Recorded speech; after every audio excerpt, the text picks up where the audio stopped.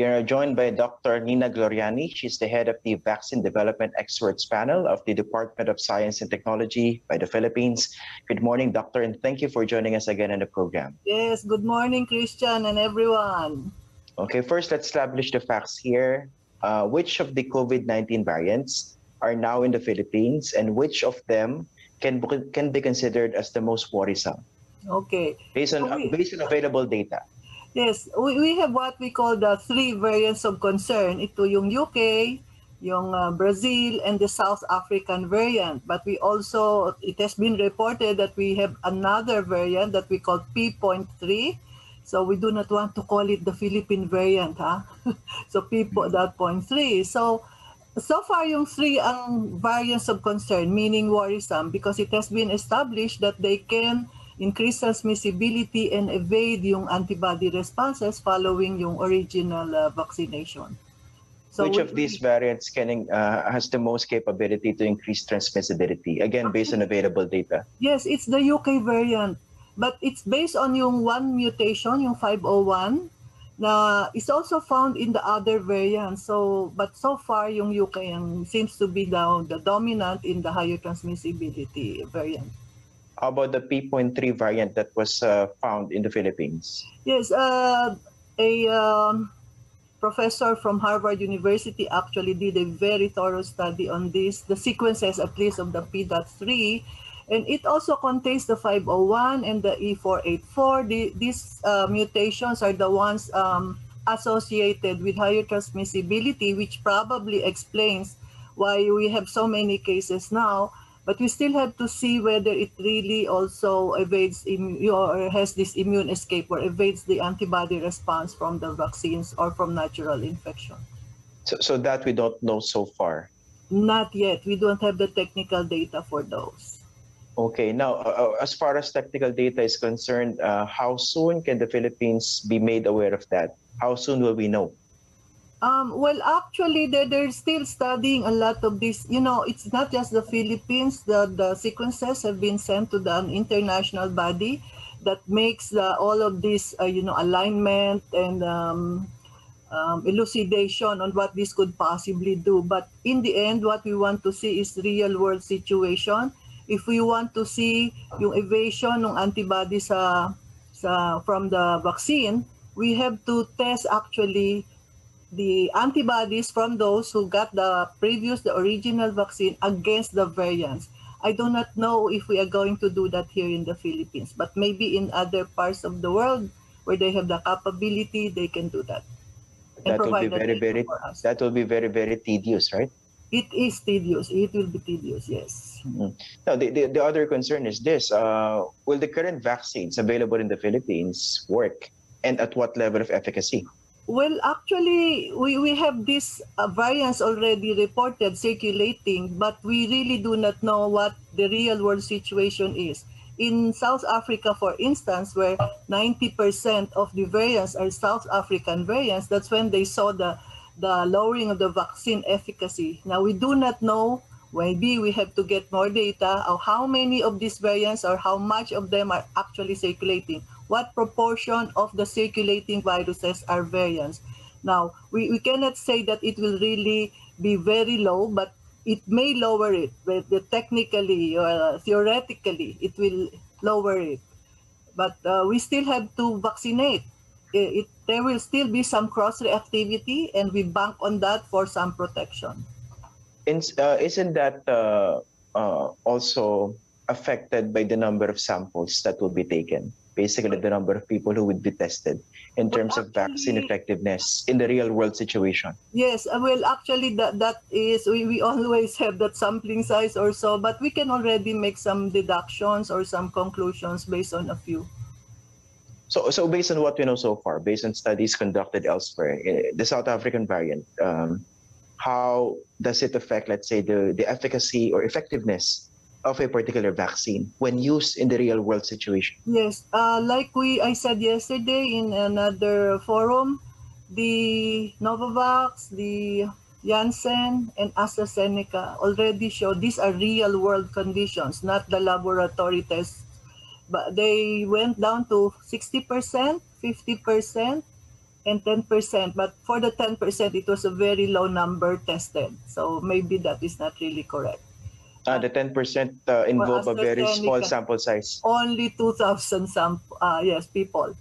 So they're Okay. actually doing larger studies. So, but So- so the- that is low. So the 10% was for AstraZeneca. Yes. Yung In South 60%, Africa, where 90% of the variants of the cases had the variants. okay. Now, usually what, what are the factors affecting the, the effectiveness of a vaccine in a real world, real world setting?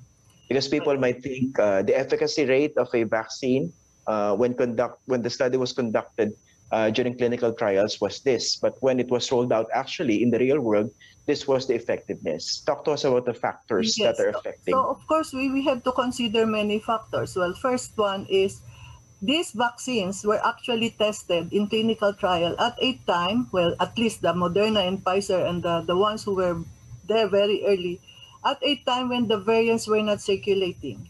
So there, some other vaccines were tested or had their clinical trials at a time when the variants were already circulating and there were so many cases. That will actually affect the vaccine efficacy. Now, you have to look at the individual as well.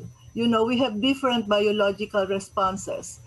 How we respond, uh, what antibodies and how much antibodies we make will also make a difference. So you, a young one, will have higher antibodies than myself. I'm older. So it has been actually shown that the, let us say, the efficacy for an older individual, like um, more than 65 years old, would be about 47% versus the general population, the younger population, where it would be around 80%. So, so we have to consider all those. So, and not just sort of blame the maybe the vaccine because Mm. we also have to consider the the human host. The yeah, and of course, it's it's always better to get vaccinated. Yes, of course, yes. And o- we can always have another dose because if we have lower antibodies, we can have a booster shot. Like me, I Mm. would like another shot.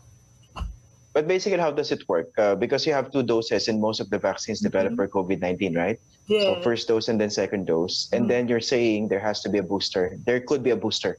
Yes, there could be a booster. Now we right now it's nine months. The the oldest, the, the very first vaccination happened nine months ago. So there's data on some people, although not many, no, maybe around 60 percent who still have their antibodies at nine months.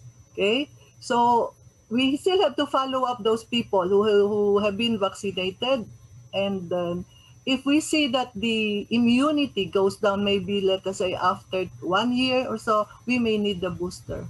And for And in, for older individuals, as I said, that may be lower. Uh, the, the, the, boosters, uh, do they have to be produced by the same manufacturer of the COVID 19 not, vaccine? Not necessarily. Not and- necessarily. No. And we may be looking at the new one, the second generation vaccines, where we have the original strain plus the variants in them. Okay, so because before the question of the people, of a lot of people was if you got your first dose using a different brand, and you use a second dose using a different brand. Of course, that was not encouraged. Definitely, you have to follow the protocols of the yes, for same now we, we should follow. We should follow that. But uh, after a year or so, I, I think we can move to other uh, platforms. Okay. Now let's also address this basic concern because I think this is also part of uh, the the effort to educate the public as far as vaccination is concerned. When you get vaccinated for COVID nineteen, uh, what exactly happens to you, assuming that that is effective? Do you don't catch the virus anymore, or you still do, but it won't have a very serious effect on you? Let's talk about that very basic thing about vaccines. Yes. So the immune response will start maybe one, two, three days later, but at two, two weeks, it may not be enough. So there could be that level of immunity, but it may not be protective, two weeks. Maybe four weeks, that should increase already, you know? But a booster, after let us say four weeks, six weeks, will make that antibody rise up some more. So that is why most of the efficacy studies had endpoints tested after the second dose because that is when we actually expect enough protection so that you can tell whether someone who had the vaccine and someone who received the placebo will may or may not develop COVID. So, So, so, so let's say you were able to complete the two doses, uh, Yes, you are considered protected, but can you still catch the virus? yes, so as we have said, there is a vaccine efficacy for overall, they would give maybe 50 to 90, 100, no, not even 100%. No, but you may have mild symptoms. What we have shown so far is that most of these vaccines give 100 protection, 100% protection against the severe form. So you may still get the mild or the moderate form of COVID. But at least you're safe. Yes, I mean, for, for many of us, we do not want the severe form because it, you know, you go to the ICU, it will uh, encumber the uh, healthcare system so much. So Okay, finally, Dr. Gloriani, uh, you, ca- you may take this opportunity to inform the public about the importance of vaccination. And of course, again, the repeated reminders as to our individual responsibilities in uh, helping curb this pandemic, especially this latest surge that we are seeing. yes, so this surge is really worrisome, no? Every day we get 8,000, 7,000. Last night, uh, we had more than 8,000 uh, cases. So my plea to everyone is if you are eligible and the vaccine is being offered to you, please take the vaccine. We are racing against time here. As I keep on saying, we do not want the virus or the variants taking over us. We'd like to take over them. So that time is of the essence. The sooner we get vaccinated, the sooner we get that 70 to 80% herd immunity, the better for all of us. And please do not forget the minimum public health standards. The, the actually the very basic uh, thing you should do is to put a barrier so that the virus can no longer get out from those who are infected and will not get transmitted to others. Because as the more virus you have, the more mutations you have. And so that is the barrier that we have to put. Stop the transmission. That's all. Thank you very much. Dr. Nina Gloriani, thank you for joining us on the program this morning. Thank you, Christian.